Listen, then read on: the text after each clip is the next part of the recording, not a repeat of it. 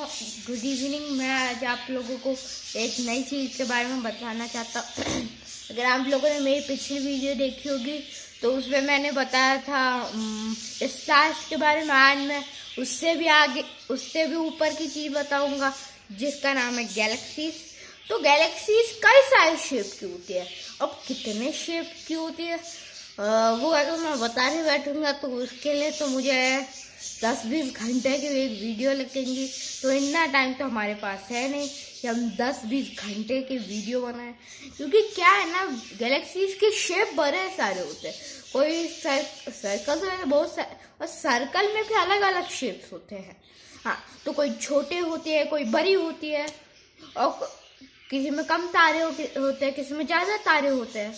तो आज मैं आप लोगों को गैलेक्सीज के बारे में बताऊँगा। तो हमारे मिल्की वे जैसी बहुत सारी गैलेक्सीज है। और मैं आपको लोगों को बता दूँ, हमारी गैलेक्सी मिल्की वे के करीबन सबसे करीबी जो गैलेक्सी है, पड़ोसी गैलेक्सी जो है, उसका नाम है एंड्रोमेडा गैलेक्सी जो हमारी मिल्की वे गैलेक्सी से भी बड़ी है।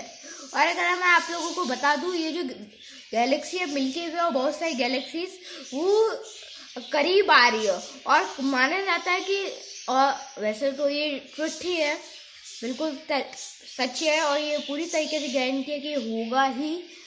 बहुत सालों बाद भविष्य में ये सारी गैलेक्सी आपस में टकरा कर सुपर गैलेक्सी बनेंगी, जो बहुत बड़ी होगी। कब तक इंसानों का वजूद रहेगा, नहीं रहेगा, ये तो किसी को नहीं पता। हो सकता है कि इंसानों का वजूद रहे, हो सकता है ना रहे। क्योंकि ये कोई दस बीस साल के अंदर ये घटना नहीं होने वाली। इसके लिए बहुत billions of years time late के बाद ही, होने वाला है। और ये क्यों होता है? इसके पीछे सारा कारनामा है ब्लैक मैटर का। तो मैं ब्लैक मैटर के ऊपर भी एक अलग वीडियो आप लोगों के लिए बनाऊँगा। तो जो ब्लैक मैटर है वो इन सारी गैलेक्सीज को आपस में खींचता है। और मैं बता दू ब्लैक मैटर इतना खतरनाक है ना कि अगर एक इंसान को टच भी हो गया ना तो उसके पूरे शरीर को अलग कर सकता है। उसका ऐसा वो टुकड़ा बनाएगा कि वो इतना छोटा पार्टिकल होगा एक एक आ, क्या बोलते हैं? वो छोटे एक एक कण। इंसान के शरीर का एक एक कर्ण अलग अलग कर देगा। और उसके बाद उसे माइक्रोस्कोप के अलावा तो देखा नहीं जा सकता। वो माइक्रोस्कोप से भी बहुत मुश्किल है और दिखना तो इम्पॉसिबल ही है। इतना छोटा होता है, क्या ही बोलूँ मैं।